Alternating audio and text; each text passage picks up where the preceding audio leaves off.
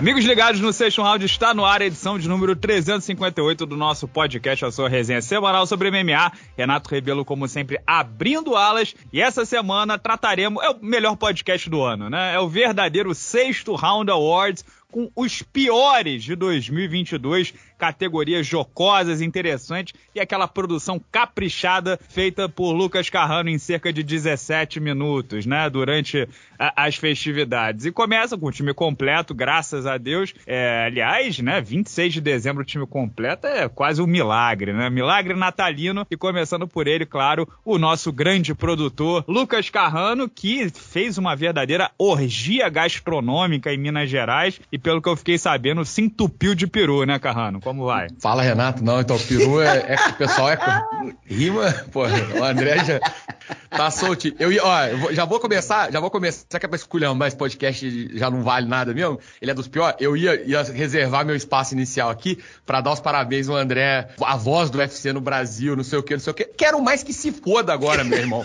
Fica rindo aí dessas palhaçadas Você quer mais é que caia no doping, né? Você quer, quer mais é que barre é, Fiquei sabendo de um detalhe aí nos bastidores, Carrano, que pode nem assumir, hein? Pode. Foi eleito, mas Porra. pode não assumir. Não vou falar por quê. Se, mas... tiver, se tiver teste da usada da agência antidoping, acabou, babou. Já Você acha que esse bíceps é natural? Pelo amor, olha, então é isso. Ia, ia, gastar meu, ia gastar meu espaço aqui, meu tempo para poder parabenizar o amigo, falar que tava feliz, que não sei o que e tal. E agora, porra, quero o Maxi Dani também. É, e não teve peru, não. É pernil, né? Que é o, o mineiro, o alimento natal dele é o, o pernil de porco. E aí mandei realmente uma quantidade obscena de comida para dentro. Vou passar os próximos sete dias só comendo folha. E ele também, a voz do UFC no Brasil, novo contratado do UFC Fight Pass, vai estar tá na Band, é a nossa grande estrela. Eu não sei se vai ficar muito tempo no podcast do sexto round, né? Provavelmente não, né? Porque tem mais o que fazer. Ele, o galã de Niterói, como vai, querido? Tem aí um emprego pro, pros amigos mais pobres, dá uma recomendação, ou até emprestar um dinheiro a gente aceita, porque nem canal no YouTube a gente tem direito. Como vai? Pois é, tudo bem, Renato, Carrano, galera boa de luta ligada aqui no, no sexto round. Finalmente, né, cara? A espera acabou, né? O Renato, o Renato já vem dando várias dicas aqui, várias deixas aqui durante o mês, né? Algumas pessoas pescaram, né, Renato? Sim, sim. Algumas pessoas pescaram, né? Dicas sutis, mas Foi. essa era a novidade, né, André? É, pois é, não podia, não podia revelar, mas a gente já vinha, já vinha conversando há um bom tempo, uns bons meses, né, com, com o UFC. E aí fechamos essa, essa, essa parceria, entrei pro time pô, tô amarradão, galera. Tô muito feliz, honrado. Momento especial da carreira e, pô, vamos que vamos. Todo mundo assinando o Fight Pass, né? Importante. A partir de 2023, 1 de janeiro, já, já começam aí as, as assinaturas, né? Disponíveis e, pô, pô vamos 12 bombar. prata, né? Não vai ter uma promoção assim? 12 prata, um negócio desse? 12,45, cara. Porra, 50% nos Estados Unidos é, acabaram é o... de subir o troço pra 80 dólares, brother. Pois é, bicho. 80 assim, dólares um evento só, né? É só o é... pay-per-view. Fora que você tem que assinar o ESPN Plus, fora que você tem que assinar o Fight Pass pra ver os outros e tal. É isso mesmo. Não, aqui é. não tem. É o Netflix, como se fosse o Netflix da luta, né? É o serviço de streaming do UFC. Agora, tem que deixar claro o seguinte: é equivalente a 12,45, porque você vai assinar anual. Vai ser os cento e bordoada lá, né? Você vai sim, assinar sim, você cartão. paga um ano, né? E vai dar isso. como se estivesse pagando 12,45 ao mês. Isso, aí você parcela, aí, aí você faz o que você quiser na hora do, do ato do pagamento lá. Não sei como é, dia 1 de janeiro vai, vai liberar. Mas, pô, cara, vambora. E que timaço, né? Porra, timaço Black Belt, né? Academia Maia, Minotauro, Carlão, Evelyn Rodrigues e pode pintar outros comentaristas e, André. e no meio do caminho, né, cara? Então, Tô, tô, tô, bem feliz aí com essa, com essa novidade para coroar o ano de 2022 que foi particularmente foi fantástico para mim. Maravilha. Another report asking me, you like him? Eu falei, man, like, like, like, I like just my mom. Meu querido Carrano, uh, abra alas aí, né? Você que é o host desse, desse podcast, o que, que temos aí do, de, de piores do ano? Eu, para ser sincero, nem olhei a, o documento que você mandou de, de indicados e produções. Eu quero que seja uma surpresa para que tenhamos um react é, é, da, é, legítimo, né? Da próxima vez eu vou, eu não vou nem me dar o trabalho de produzir. Eu vou chegar aqui e vou falar qualquer coisa, cara. Seja é o segundo programa seguido, seguido que eu tenho o trabalho do cacete produzindo e você sempre fala que, ah, não, nem dei, nem olhei, nem fiz. Da próxima vez vou mandar só pro André e vou, vou inventar as paradas aqui no ar. Mas, ó, o pessoal já tá familiarizado, né? Já é a segunda hum, edição. Ele tá magoado. Eu fiquei, eu fiquei, eu fico ofendido, né? Eu, sou, eu tenho muito orgulho no meu trabalho, Renata, por isso. E o, o pessoal já tá acostumado, essa é a segunda segunda edição do, do Sexto Round Award. Semana passada a gente falou de coisa boa, que não é o costume, né? Não é o hábito. A gente não é disso, porque estávamos justamente segurando aí a munição para poder fazer o programa dessa semana. Temos categorias é, que foram específicas, algumas se repetem do ano passado, outras são novas, tem novas referências, novas coisas. E a primeira categoria, eu quero abrir logo de cara, é com uma categoria que só tem um concorrente, que ela foi sugerida, inclusive, por você no, no final do, do, do podcast passado, que é o Troféu Beleza Exótica 2022. Só tem o Raul Rosa Júnior e ele vai ganhar, o prêmio vai ser entregue para ele é, de preferência sem olhar na cara dele, porque realmente é, o Marquito, o Marquito do Ratinho não, não, não tá muito legal. Começando agora com as nossas categorias reais oficiais e que já é, temos aqui uma a grande surra de 2022, que é o troféu Renato versus Tecnologia de maior surra do ano, troféu anteriormente conhecido como troféu Deixou Ser Guerreiro. As quatro opções são o zumbi coreano diante do Alexander Volkanovski, a Juliana Penha na revanche com a Amanda Nunes, Alex Poitin sobre o Sean Strickland, sugestão inclusive do nosso novo porta-voz do UFC André Azevedo, e o Eli Geng contra a Joanna Jędrzejczyk ou até contra a Carla Esparza, porque ela espancou as duas. Então tem cinco opções aí para vocês escolheram quais foram, qual foi né, a maior surra de 2022. Lembrando que o prêmio vai para quem tomou a surra, não para quem aplicou a surra. Bom, o, eu, eu, dou esse prêmio nessa categoria, é, como é que é, Renato, né? Renato, Renato versus tecnologia. É. Ou ainda o prêmio Mário Yamazaki deixou ser deixou guerreiro, ser né? Guerreiro. Brought you by Mário Yamazaki, vamos, vamos botar assim. Eu dou para Carlos Esparza, bicho. Campeão, botou o cinturão para rolo e tomou uma coça da, da Weili Zhang. Então, até pelo peso da luta, né, valendo o cinturão, é, eu dou esse prêmio para grandíssima, sonolenta Carla Esparza, né? Graças a Deus, passou esse cinturão aí para o Elisane. Ninguém aguentava mais esse breve reinado da Esparza, né? Sempre lutas muito modorrentas, né, senhores? Essa é a verdade, né? Vamos tratar da verdade aqui. Carlos Parza, meu amigo, é protocolar aquele joguinho dela ali. Então vai aparecer vai, de novo, ela. hein? Vai aparecer Oi? de novo. Ela vai aparecer de novo aqui, pode ter certeza. então vai para Carlos Parza. Olha, eu, eu já vou no zumbi coreano contra o Volkanovski. Eu, eu lembro que eu fiquei com pena, cara. Aquele negócio que o primeiro round foi ruim, o segundo foi pior. O negócio só piorava, né, cara? É, foi, foi um. O zumbi coreano pegou a luta meio em cima do laço, né? Como substituto. A gente tem na, na cabeça aquele zumbi zumbi coreano do passado, que era um bom zumbi, né? Um zumbi é, ainda recém-convertido, é, é, convertido, né? Ainda, ainda com, com cabelo, a, a, é, juba ao vento. Aí a gente já viu um zumbi depois de seis meses de apocalipse zumbi já deteriorado, né? E foi um, foi um massacre e eu vou nessa luta aí. Eu vou concordar com o Renato. A, luta do zumbi coreano com. Eu, eu, a surra. Vocês vão dar pra luta ou vão dar pro, pro zumbi? Não, pro zumbi, não? ele merece. Ele foi ele que aguentou a surra de de, de, de vareta lá o tempo todo, honrando um apelido de zumbi. Ele e que o... leva a estatueta, né? Ele que vai lá Ele pro leva. púlpito fazer o discurso. Né? Eu já tô, inclusive, enquanto a gente conversa aqui, eu já tô em contato com a, a imigração coreana para ver como é que funciona o negócio de importação de bens, né? Porque o nosso troféu muito valioso, Renato, fel felizmente para esse prêmio, ele liberou uma verba um pouco mais alta, eu tenho R$16,90 para fazer oito prêmios. E aí eu tenho que ver como é que eu vou fazer para exportar isso. Tô com essa parte burocrática, já tô olhando. E o zumbi coreano é aquele negócio, né? O Renato achei até que ele ia falar isso, que no início estava ruim e no final parecia que tava começando agora, né? A luta para ele. Que foi um, foi um vareio assim de cima e embaixo e o cara não desistia, não caía. Foi até o árbitro é, sentir pena dele e, e, interromper a luta. E coitado, depois ele ficou deprimido, falou que queria aposentar, ficou, o clima deu uma, uma pesada. Então, ó, primeiro. Olha, Carrano, que você acabou de falar, tem outro indicado aí que eu acabei de pensar, o Bryce Mitchell contra o Ilha Topúria, né? Que é o outro que apanhou e pensou em aposentar, né? Apanhou e des... quase desistiu da carreira, né? Você acha, se você conseguiu, Renato, não sei como é que tá aí de, de verba, né, nesse fim de ano, já pagou o bônus pra galera mais nada. Mas se tiver mais uma beiradinha, eu mando outro pro, pro Bryce Mitchell também, pra ele receber, ele vai gostar, pô. Ele, tá, ele, às vezes vai ser o ânimo que faltava pra ele não desistir da carreira do MMA. Ó, a segunda premiação que a gente tem aqui, esse é um troféu que me dói demais em ter que é, anunciar, porque a referência dele ela ainda me machuca, que é o troféu Faltavam Só Quatro Minutos, apresentado por Adenor Tite. Essa é a grande decepção do ano de 2022. Claro que a referência vem da Copa do Mundo, mas o troféu vai pro MMA. E as três decepções é, que eu separei aqui, fiquem à vontade para citar alguma outra que vocês sentiram mais decepcionantes. É o Hamza Timaev, que teve um 2022 extremamente decepcionante, né? Começou, fez só duas lutas. A primeira foi aquela com o Durinho que ele, pô, perdeu o status de intocável e quase viu a avó pela greta. E a segunda foi aquela que não era pra ter sido, né, contra o Kevin Holland e, e teve problema com peso e ainda tirou onda. E ainda termina o ano sendo córnea do filho do ditador, pra dar uma... Porra! Aquela, pô, esse vídeo, cara, se eu não fosse tomar o strike literalmente, né, strike no sentido de um strike de bomba na cabeça, na casa, eu postaria esse vídeo no sexto round, mas procurem. O filho do Hamza Kadyrov é, lutando MMA com o Hamza Timaev no corner é uma, uma, uma, apresentação, assim, de futuro triplo campeão. Não tem condição. É, é foi o primeiro nocaute técnico praticamente sem encostar no adversário, né?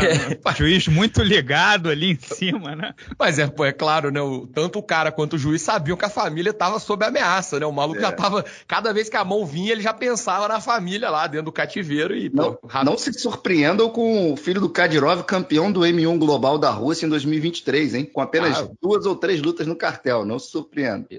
Por mim, ô, ô, André, inclusive não precisa nem lutar. Dar o um cinturão pra ele, leva pra casa, pô. Tá tranquilo. Se tiver algum espião russo me ouvindo, eu moro em Divinópolis, tá? é, também. Mudei 47. pra lá. Mudei é. pra lá. E, inclusive, é capaz do filho do Kadyrov ser campeão do M1 Global invicto com 15 anos, né? É, seria um grande. E duas lutas, né? É, seria é, bem, né? E além dessa do, do Hamza Timaev, outra decepção grande, essa nem tanto por conta da frustração do cara, mas pela frustração geral que causou no público, né? Pela decepção do povo brasileiro, que foi a derrota do Charles do Bronx pro Islam Makhachev. É, talvez um dos momentos aí de catarse é, né? Maiores que a gente teve nos últimos anos. Uma mobilização absurda. E a derrota foi, obviamente, uma grande decepção para todo mundo.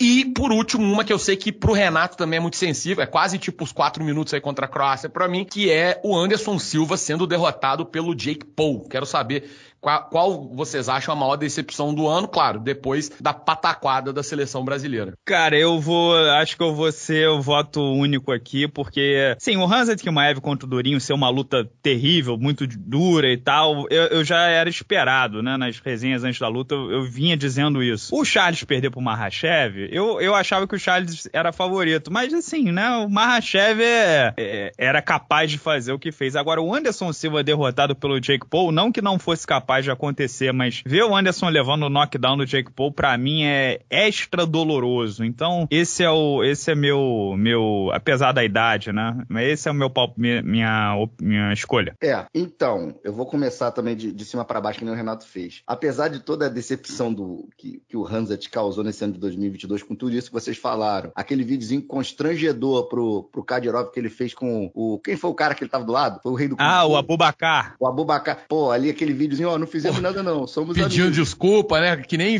aquelas camisetas que eles põem nos Estados Unidos, é, que a camiseta do, do das crianças que briga, e aí bota os dois na mesma camisa e é obrigado a ficar lá camisa. abraçado. Exatamente. Isso, tudo isso que vocês falaram. Pô, levou, ele levou pau no, no NBA em gestão de carreira e empregabilidade nesse ano de 2022, o Ramos Atkimaev, mas continua nas cabeças aí, com certeza daqui a pouco vai pegar uma luta boa, né? Se prejudicou, mas eu acho que nem tanto, prejudicou mais a imagem dele do que, do que outra coisa. O Charles, eu, eu penso a mesma coisa que o Renato, cara. Foi pesado por conta de todo o clamor do povo que estava ali em cima. Foi uma decepção por conta de toda a expectativa que a gente tinha, né? E, e aquele amor mesmo de, da torcida pelo Charles, né?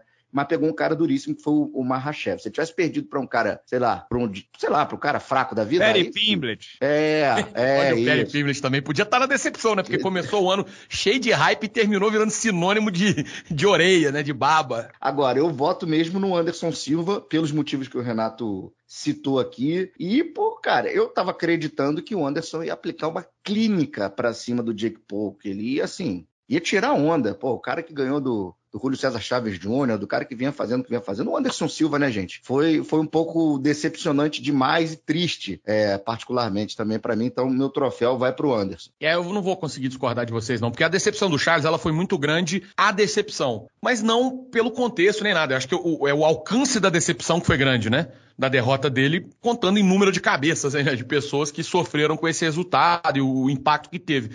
Mas, de fato, o evento em si, a derrota do Anderson. É, acho que você foi feliz, André, na, na, na, lembrança, que não é também que o Anderson, assim, pô, ah, o Anderson tava velho e já tava mal. Cara, ele fez uma luta muito boa contra o Julio César Chaves Júnior, pouco tempo antes. É, ele tinha tirado o Tito Ortiz, que ok, pô, além daquela cabeça, da cabeça gigante que favorece muito o ser acertado, não você é um... curte uma cabeça gigante, cara? Não, é, nem um pouco. Eu também fiquei com essa dúvida. É. Não, não, não, não, não, não, não, pelo contrário. Nem pequena também, nem de, de jeito nenhum. Foda, foda essa cabeça, André. Você vamos, gosta, vamos... Do, você gosta do, do tamanho standard? Não, que tamanho é tamanho? Esquece isso, André. Que conversa chata. É, ele, mas além desse, né, do, do, alvo fácil, ele não é um pugilista de, de ofício, ok. Mas o Anderson também foi lá, cara, e tirou mal pra nada. Não é que ele tava vindo assim, ah, beleza, já tava vindo mal. Ali me foi meio do nada, né, cara? Ele fez uma, lutas muito boas e depois acabou sendo superado. E aquele knockdown no final ali foi a cereja no bolo, rapaz. Foi, foi doído. Ó, é, próximo troféu aqui para ser entregue é o troféu Tyron Woodley de involução no esporte. Ou seja, é o cara que fez a evolução contrária, andou para trás na carreira. E aí temos três concorrentes aqui de peso. É, o primeiro deles, Tony Ferguson, é, que tá vivendo uma fase realmente estupenda, um momento maravilhoso, acabou de se formar em Harvard. a minha teoria sobre o Tony Ferguson em Harvard é de que ele chegou lá com a camisa e ninguém teve coragem de falar com ele para ir embora, velho. Deixaram ele ficando lá assistindo as aulas e aí ele cismou que ele, que ele se formou, mas enfim. É, o segundo, Darren Till, que também, pô, um momento tenebroso na carreira. E o último, o Dominique Reis, que também, depois de, de quase ganhar do John Jones, para muita gente ganhar do John Jones, acabou, né? Não, não existe mais Dominique Reis. Bom, galera, essa é uma categoria dolorosa, né? Da gente votar. Você vê a, involução no esporte é sacanagem, né? Falar dos caras que estão perdendo é muito ruim, né? Eu gosto de falar de quando, quando o cara tá ganhando. Bom, o Tony Ferguson, eu poderia votar no Tony Ferguson. Eu poderia estar roubando, eu poderia estar, né? Saltando, mas eu tô aqui falando do Tony Ferguson, que coitado. Cinco derrotas seguidas, né? Mas olha só, vamos botar para os caras que ele perdeu: Goethe, Charles, Dariush, Chandler e por último Nate Dias, um cara que já vinha apresentando alguns, alguns sintomas já de concussão. Então eu acho que eu não posso nem dizer que é involução no esporte. Eu acho que é o, o dano acumulado mesmo ali. Evolução na né? capacidade humana e cerebral. É, é, cara, eu acho que é um problema muito mais profundo, né? É, o Darren Till... Você curte tá... um problema profundo, André? não, eu não curto problema não, cara. Eu curto solução. O... São três derrotas seguidas, né? A última agora é pro Duplessis, passou por lesões. Mas, cara, o meu voto vai pro Dominique Reis. Vai para o Dominique Reis, claro, perdeu para quatro ótimos atletas também, mas um cara que estava sendo tratado aí como o novo, novo dono do cinturão dos 93 quilos, até fez aquela luta duríssima contra o John Jones. E aí, meu amigo, de lá para cá foi ladeira abaixo, né? Ele fez aquela luta de decisão unânime, perdeu pro John Jones na decisão unânime, repito, apertada, foram 25 minutos de porradaria, mas depois ele só tomou taca, né, cara? Foi nocauteado pelo Blachowicz, nocauteado pelo Prohaska e nocauteado pelo Ryan Spann ainda no primeiro round. Situação periclitante pro Dominic Reis, que tem o um apelido de Devastator, mas ele tá mais para Devastated do que Devastator, né? O Dominic Reis, de apenas 33 anos de idade. Então, vai pro o troféu de involução no esporte vai para o querido Dominique Reis. Olha, é, eu também descartaria o Tony Ferguson nessa, porque é idade, quilometragem, qual, qualquer um no estado do Tony Ferguson estaria é, nessa situação. Eu ficaria na dúvida entre o Dominic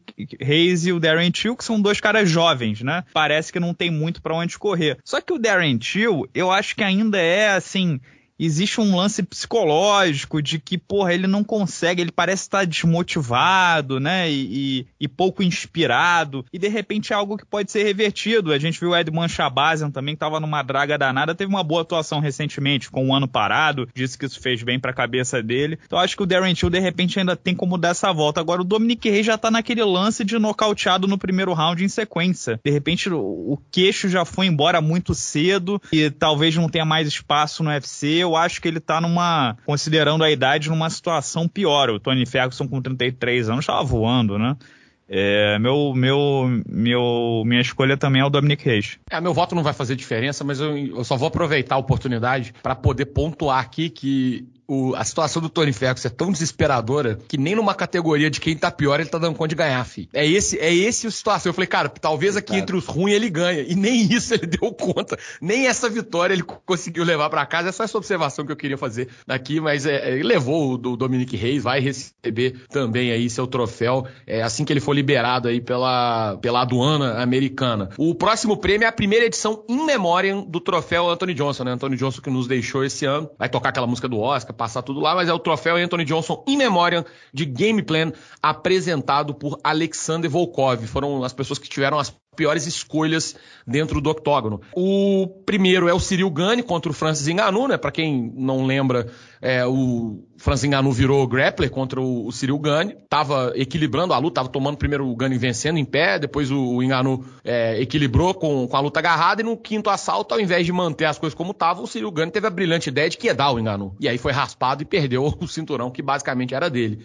É, o cara foi raspado pelo Ngannou. Gente, o cara Pô. foi raspado pelo Ngannou. Aí, pô, Red caiu com o não tem jeito. É, o segundo, TJ Dillashaw contra o Aljamain Sterling, veio machucado há três meses, estava machucado, olhou e falou assim, porra, eu vou ganhar desse moleque com um braço só. Eu tô velho, não tô podendo tomar meus produtos, mas ainda assim eu acho que eu não preciso mais do que um braço para poder ganhar dele, não. E obviamente aconteceu o que se esperava. É, ele entrou no, no, no, salame contra o Aljamain Sterling. E por último, uma que é parecida, mas não é igual, que foi a do Calvin Qatar, porque não é que a lesão já existia. O Calvin Qatar contra o Arnold Allen, é, eu até fiz a resenha, se o pessoal vai lembrar, era vai te catar, né? Por conta disso. Foi uma, uma estupidez assim, conto mais. Ele sofreu uma lesão na perna, tava com a perna claramente avariada, o médico olhando com aquele negócio, e ele resolveu resolveu ser macho. Falou: não, eu vou lutar, vou voltar. Maluco, o primeiro chute que ele tomou na outra perna, ele já perdeu o equilíbrio completamente. A luta acabou de uma das formas mais anticlimáticas do mundo. Mais uma vez, é, sendo punido pelas próprias decisões estúpidas. Então, é, para vocês aí, o nosso primeiro troféu em memória, Anthony Johnson, de game plan, vai pro Cyril Gunn, TJ Dillashaw ou Calvin Qatar? Olha, eu vestindo meu chapéu de advogado aqui e né, interpretando o nome do, do, do prêmio, game plan, né, que é plano de jogo. O que o Dillashaw fez é é, grotesco, né? O Calvin Catar talvez um pouco menos, que ele já estava ali no meio da luta, adrenalina, sangue quente. Ah, pô, vamos ver se dá, né? O cara tentou, né? E o Dillashaw ir lutar naquelas condições é inacreditável. Foi basicamente para recolher o cheque sem nenhuma chance de vitória. Ele, inclusive se aposentou depois disso, né? Agora, o plano de jogo, o game plan, né? Durante a luta em, em condições normais físicas, foi o Cyril Gane partir para aquela botinha, né, a chave de pé reta, no Francis enganou no quinto round, quando se ele não fizesse isso, ele teria sido campeão mundial peso pesado, né? E essa foi inacreditável, então eu acho que eu vou no, no Cyril Gane. É, se for, se for levar em conta a letra, a letra fria da lei, como o colega relator, doutor advogado Renato Rebelo levou, realmente, Cyril Gane foi o game plan, né? Ali a, a falha. Agora, se você já levar para um lado categoria brought you by MBA de gestão de carreira do Ramzat, by Ramzat Kimaev, é o TJ de Lachó, gente. É um negócio assim, bizarro. O cara veio daquele problema. Primeiro, ele cortou até 57 quilos, detonou o corpo dele. Usou substâncias duvidosas ali para conseguir se recuperar do negócio, para descer de peso legal e tudo. Foi su suspenso do esporte. Volta, vence mais uma. Tem a imagem ainda arranhada, mas ele volta com. faz mais uma e tem a chance de disputar o cinturão de novo vai lá e perde do jeito que perdeu para o Aljamain Stanley, lutando machucado, cara. Isso para mim foi, porra, foi um suicídio de carreira, assim, um game plan de uma forma mais é, extensa, assim, né, saindo só do âmbito do octógono, uma gestão de carreira, assim, bizarra do, do Dillashaw, se aposentou depois, enfim, foi cagada atrás de cagada, eu acho que ele mandou mal demais. Então, pelo conjunto da obra, eu, eu voto no, no TJ Dillashaw aí só para como tá na categoria, como o Carrano incluiu na categoria. Eu, eu vou no, no mas eu concordo com o que o, que o Renato falou de, do game plan, né, exclusivamente ali de, de octógono ser o vacilo maior do, do Cyril Gunn. Eu vou votar no TJ Lachó e vou dar uma justificativa que, inclusive, casa um pouco com a, a, a, defesa apresentada pelo Renato, porque eu só consigo imaginar qual foi o gameplay que tinha sido. Porque ele sabia que estava machucado. E é isso. O que, que ele imaginou que ele ia fazer lá dentro? Alguma coisa ele pensou. E esse gameplay que ele bolou na cabeça dele sem um braço devia ser uma merda. Então eu te falo qual foi. Eu te falo eu qual foi. Eu te falo qual foi. A estratégia dele foi falar mal da, da trocação do, do Sterling durante toda a campanha, todo pré-luta, para justamente o Aljamain Sterling ficar com raiva e querer trocar com ele. Querer trocar não com ele. Não tinha condição nenhuma de fazer o wrestling com o Aljamain. Pô, Só que é o Aljamain foi lá e botou ele pra baixo, pô. A burrice, assim, sem fim. Então acho que até nesse ponto dá pra justificar um pouco. Eu fico com o Dillashaw. Mas, é, é, assim, uma única decisão, porque o, o TJ Dillashaw realmente é uma combinação de cagadas. É, mas um momento único, assim, que mudou tudo, seria o Gunn foi, foi impressionante. Cara, não tem lógica. O cara tava sendo quedado pelo engano e ele resolve que a melhor alternativa dele é, é, pô, é, é, o que ele deve ter tomado de tapa na cara do treinador depois é brincadeira. Se passar em Niterói, André, o que acontece? Ah, você já sabe, né? Já, já tá na fila. Ele tá atrás do, do John Jones nessa fila aí. É. Pessoal, é, a próxima categoria é o troféu Herb Dean de pior arbitragem. claro, tem o próprio Herb Dean, né? Ele é a primeira, inclusive, alternativa aqui, ó. Herb Dean deixando o já nitidamente contundido Cub Swanson levar mais umas quatro ou cinco pancadas a mais na cabeça antes de sequer cogitar para a luta contra o Jonathan Martinez. Tem o Jason Herzog, que não viu a Mason Chason dar os três tapinhas, a Mason Chason seguiu na luta, quase virou, mas aí acabou tomando uma pedalada da Irene Aldana e perdendo do mesmo jeito.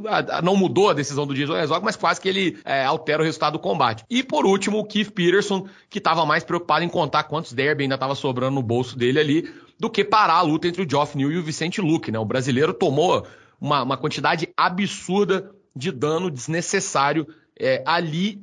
E eu vou votar de cara já, porque não é só porque é o nome do troféu e porque provavelmente vai ser bicampeão. Mas o Herb Dean é bizarro, cara. É, o pior não é nem o, o, erro, porque o erro ele acontece, tá sujeito, todo mundo é humano, pode acontecer. Mas essa indecisão do Herb Dean, essa falta de assertividade ao tomar suas decisões, é, é uma das piores características que um árbitro central pode ter. Porque ele acaba é, é, tomando más decisões e decisões que causam dano desnecessário. E essa do Campos Swenson é bizarra. Ele fica lá, não vai, não vai, vai, não vai, vai, não vai, e o Campos Swenson tomando na nuca, velho. Já tinha caído totalmente é, desfalecido. Então já deixo meu voto aqui de cara, porque o Herb Dean não dá só nome ao prêmio, ele é o cara também. É, eu tô com o Carrano, cara. Essa sapateada do Herb Dean tem sido um problema na carreira dele, ele que é um árbitro tão, tão condecorado, né? Um cara importante na, no evento, importante no esporte, né? Mundo afora. Tem que, tem que, tem que melhorar pra 2023, então tô, tô contigo, Carrano. É, acho que é unânime essa vez. A do Cub Swanson foi braba mesmo e seguimos em frente. Em conjunto Ué. da obra, né, cara? Ele fez é, isso durante já todo o ano. Vem né? de hoje, né? Exatamente. Sapateou, deve estar tá indo trabalhar com aqueles sapatos de, de, de sapateado do, do, do, do Fred Astaire, né? Ó, o próximo, o próximo troféu aqui é um troféu novo. Essa é uma, uma novidade da edição 2022, que é o troféu Tramontina. Aliás, patrocina a gente aí, o Tramontina. Troféu Tramontina Garfo de Ouro, que é o maior garfo de 2022. É, temos aí Sean O'Malley e Piotr Ian. Eu só coloquei por conta do clamor popular porque meu vídeo recebeu vários comentários que foi gasto, não sei o quê. Eu não concordo. Mas eu sou um cara justo, democrático, e eu vou incluir aqui para dar opção caso vocês queiram votar. Mas eu já digo de cara que eu acho que não foi gasto. Tayla Santos e Valentina Shevchenko, Ralph Stotts e Dani Sabatello no Bellator, que foi o Doug Crosby. E, aliás, tem a, a, o DNA digital do, do Doug Crosby na outra opção também, no dia seguinte, inclusive, que foi Jared Gordon e Perry Pimblet. Renatão, começa aí porque eu, eu tô sentindo que você vai puxar saco da firma e vai falar alguma, uma do Belator. É, a do Belator, é a do Sabatello com Ralph Stotts, acho que foi mais bizarra não por quem venceu, mas pelo o queridão que deu 5 a 0 o Sabatello, né, que é absolutamente impossível. Não tem como você, só que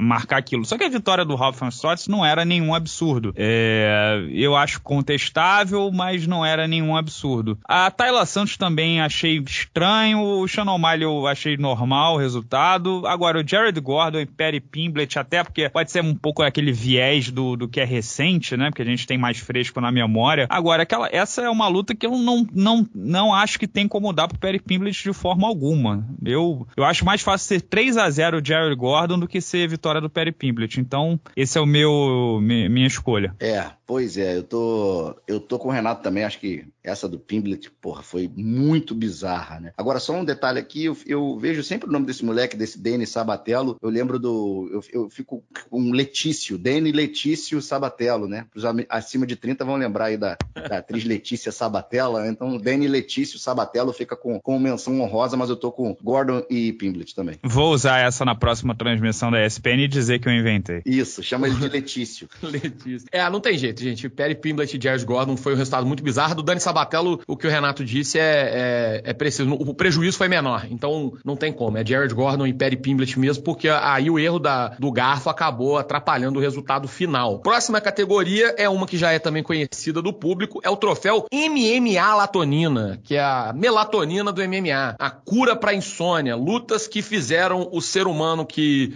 só vai dormir junto com o galo cantando na manhã, dormir feito uma criança, apagar, é, até roncar em casa. É, foram três opções que eu separei aqui, é, certamente três lutas que eu jamais quero citar o nome daqui para frente, essa é a última vez que eu espero falar de cada uma dessas lutas, mas são Rosena Mayunas e Carlos Esparza 2, Ankalaev e Ian Blachowicz e Ryan Bader e Sheik Congo. André, é, o que que você acha? Eu, Renato, eu quero deixar o Renato ah, último, porque eu, eu sei o que, que, ele vai falar. Tô coçando aqui. o Renato, é, eu deixo, bom, Renato, você dá um Google na receita de sopa de tomate aí enquanto você, você pensa. よし! André, André, galera, acorda. dormi, dormi, dormi. Falou em Mano, MMA Latolina aí, essa vê- categoria eu dormi, cara. Eu é por isso, é por isso que o André é contratado pelo UFC, né, o Carrano, e a gente não, né? Porque ele é capaz de fazer tanto o au, o barulho, né, do e, e essa atuação é brilhante, né, cara? Parabéns, André. O Piadas UFC, sofisticadas, né? o UFC Não, Vocês acertou. não sabem. Vocês não sabem que essa dormida que eu dei, eu sonhei com o Francis Ngannou e Derek Lewis, cara. Cara, é, que, ele poderia é ser o bom nome mesmo, do troféu também. Carrano, ele é bom mesmo, cara. É, aqui, esses, André, esses centenas de milhares de, de dólares que o UFC tá te pagando é, por mês aí estão tão bem justificados, pode ficar tranquilo. Tá achando que. Ah, André, aproveitando o ensejo, é, agora que você já é oficialmente um contratado do UFC, o card do, do, de janeiro do UFC no Rio de Janeiro tá muito bom, né? Olha, eu avisei a vocês desde o início, né? Antes de começar, o, o André já tava pachecando antes de começar a negociar com os caras. Depois que começou, o troço deu uma guinada de Depois deram os 360. melhores cards da história do MMA, André? Gente, vocês têm que pensar que, cara, é, eu li alguns livros de estratégia. Essa pachecada já fez parte da minha campanha ali subliminar, entendeu? Para os caras ouvirem e falarem assim, pô.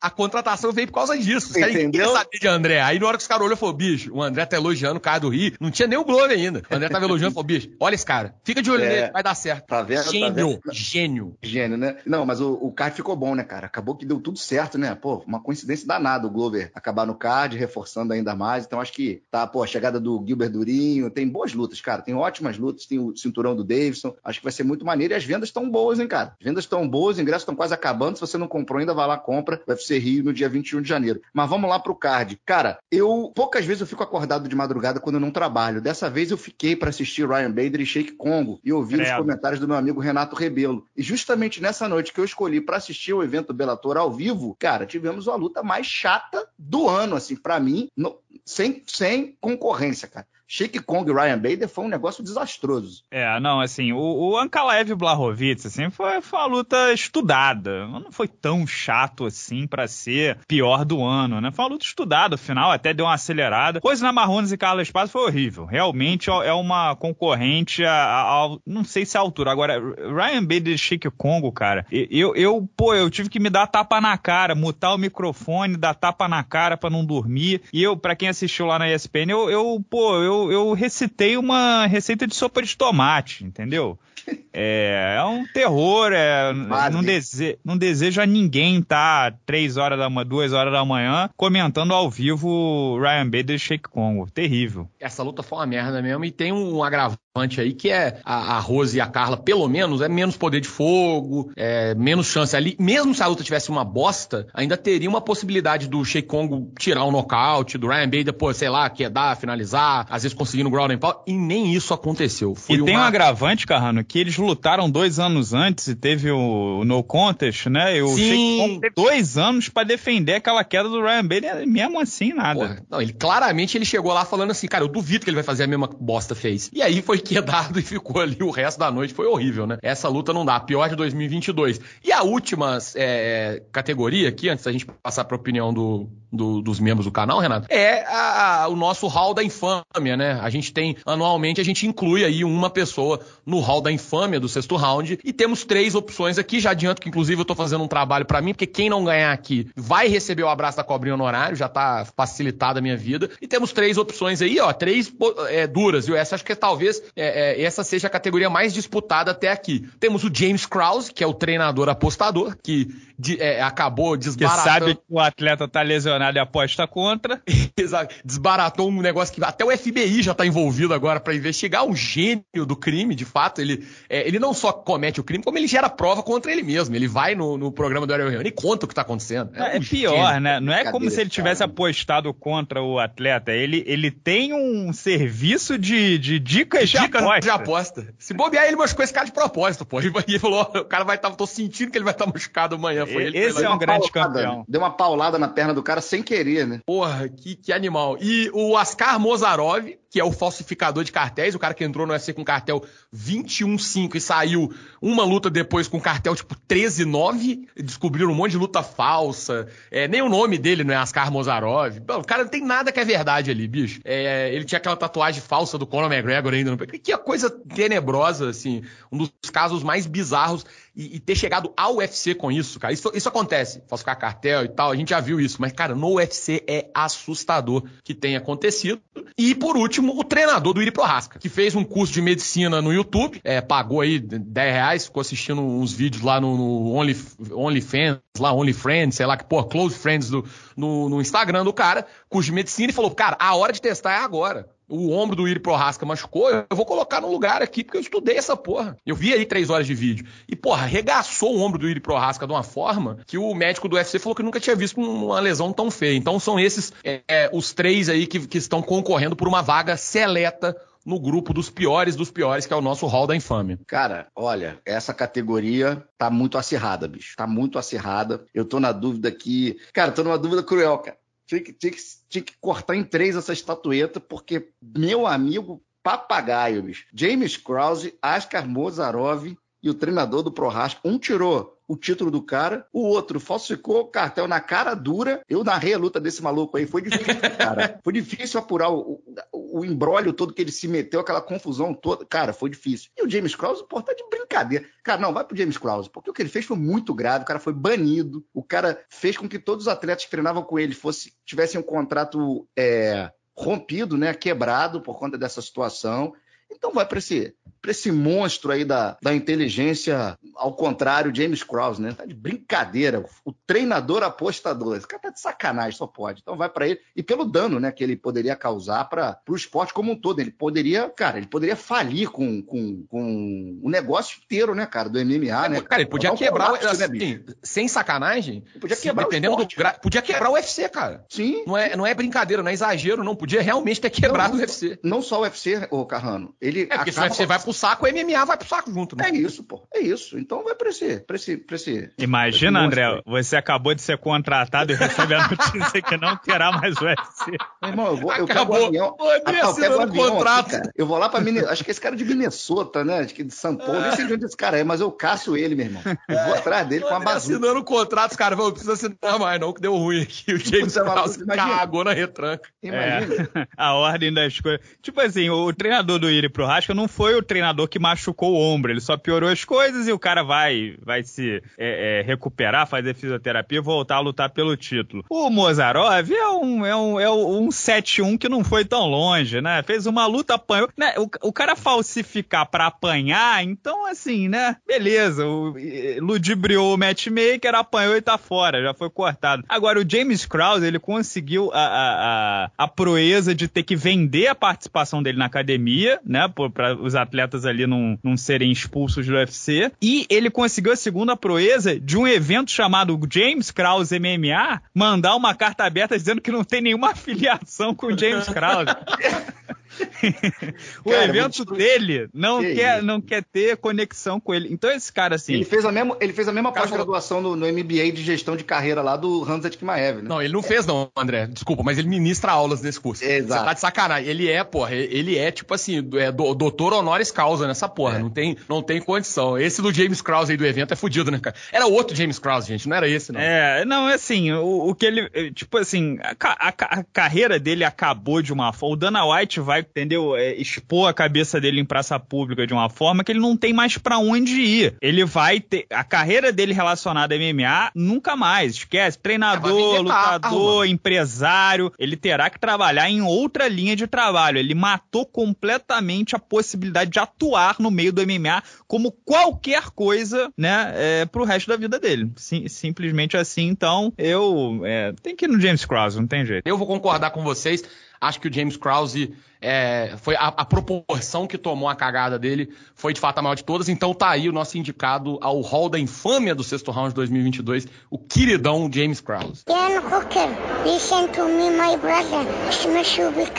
Beleza, pessoal, vamos embalar aqui com as opiniões dos membros do canal do sexto round. Graças a Deus, acabou o tempo de geladeira. Ficamos 15 dias aí com esse segundo strike sem poder postar nada no canal principal. Recorremos ao meu canal pessoal, Renato pelo 6, que será um outro canal no YouTube daqui a alguns meses, então você já pode ficar inscrito lá também. Mas agora estamos de volta ao sexto round e pedindo opiniões dos nossos membros, né? Os, os resilientes guerreiros que não nos abandonaram, né? Será que tem algum membro lá ainda, Carrano? Será que. Tem, pô. Será que durante essa tormenta, essa tempestade, o pessoal continuou lá pagando os sete reais, é, é, nos ajudando? Eu vou e, ver. agora aqui... que ficou mais forte a, a, relação, pode ficar tranquilo. Ah, maravilha. E aos membros também já aviso, né? Que é, a live dos membros não rolou esse mês por motivos óbvios. E eu tava pensando em fazer essa semana, mas fazer de dia 30, dia 31, acho que não vai ter muita gente participando. Então vou fazer na primeira semana de, é, é, de 2023, né? Na primeira quinta-feira.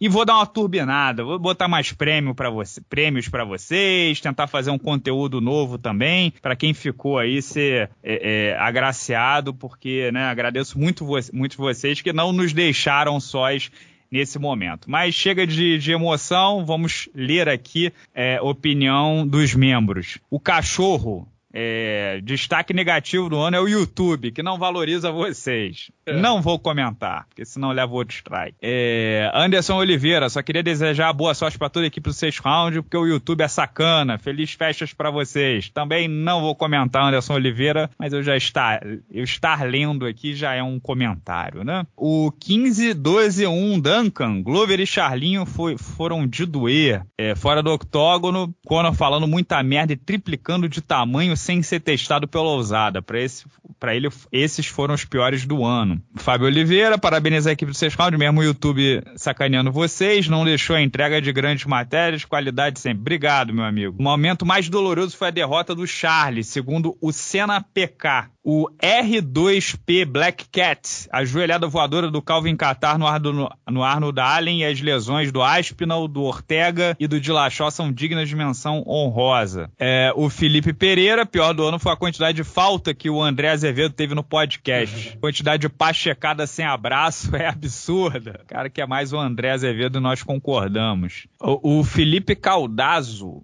o pior do ano foi o YouTube que deu dor de cabeça pra gente. Menção rosa para o segredo do galã de Niterói, que não avisou em primeira mão aqui que vai pro Fight Pass. Parabéns. É, não podia, né? É, o Jaburanga 636, a eterna novela de John Jones. Acho que ele nunca mais volta no octógono. É, o Lucas Xavier, destaques negativos. Moderação do YouTube, Kevin Holland. É, o Yuri Santana Gomes, estreias mais arrastadas. John Jones no peso pesado, o canal novo do Renato. Matheus Rezende Resende, o destaque negativo do ano até agora foram as mortes dos lutadores, né? O Rumble, Bona, Teodoro, também as decisões questionáveis. Pois é, né? Três caras aí jovens faleceram nos últimos quatro meses. Fiz resenha ontem sobre o Stefan Bona complicado, né? Cauã Silva, ponto negativo foi a permissibilidade da usada com o filhote do Dana White. Mal que 89, pior do ano foi o YouTube caçando seis rounds porque de 10 vídeos que vejo, cinco tem promoção da mesma empresa e nenhum foi barrado. Pois é, é, essa foi uma das reclamações que eu fiz, mas é isso mesmo, né? É vida que segue, né? Parece que é só com a gente mesmo, mas que eu posso fazer. O Mr. Danilo D2,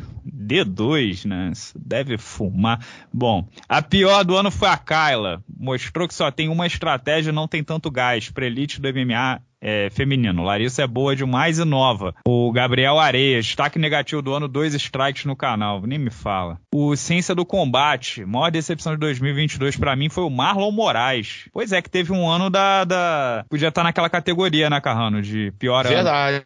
Da, da, de andar para trás, né? O Marlon é, perdeu no UFC, saiu do UFC, aposentou, desaposentou, voltou pra PFL e perdeu de novo, né? É, foi nocauteado, né? Pelo Shimon Moraes. pelo Shimon, o clássico da família Moraes. É, Lucas Bal Lugani. Destaque negativo foi o Paulo Borrachinha, que definitivamente, acho que definitivamente todo o hype dele foi pelo ralo depois da apresentação contra o Luke Rockhold. Eu não entendi essa do Alisson Rodrigues. Pior do ano ainda é o Lucas Carrano. Parabéns, queixada. Pô, eu, eu entendi, né? Pô, é pra humilhar o trabalhador brasileiro, pô. É isso. A gente não tem um minuto de sossego. Ó, todo, muita gente falando aqui do Charles, né? Que foi o momento de desapontamento do ano. Jonathan Dias, o YouTube, sem dúvida. Thiago é, Zanelato, garfada do Playmobil. É isso. Aí o Felipe, pra terminar, o Felipe Silva, 35,90. YouTube e Tite.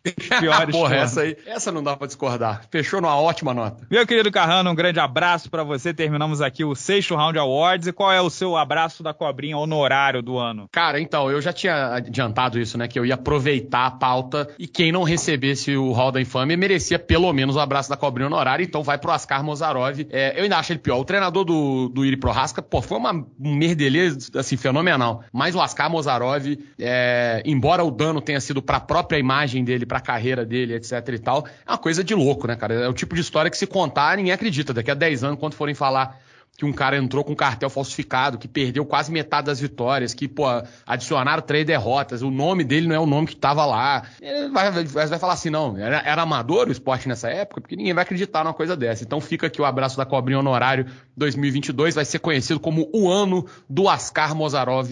Meu querido André, um grande abraço para você, Feliz Natal, Feliz Ano Novo, né, porque não teremos outro podcast antes de 2023, e um beijão aí na família, o bicho tá pegando, né? Agora, dois filhos pequenos, mas com um salário poupudo. Rapaz, é, o senhor é um cara de pau, né?